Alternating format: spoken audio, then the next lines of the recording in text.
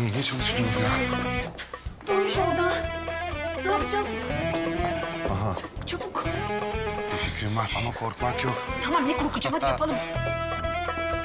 Gel Ne yapıyorsun? Ne yapıyorsun?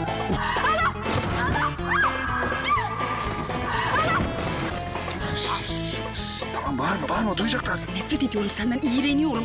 Bu ne be? Pozisyon tamamen iş icabı ortağım. Geliyorlar, geliyorlar, geliyorlar Demir. Tamam tamam gel kimse bir şey yapamazsın. Dur, dur.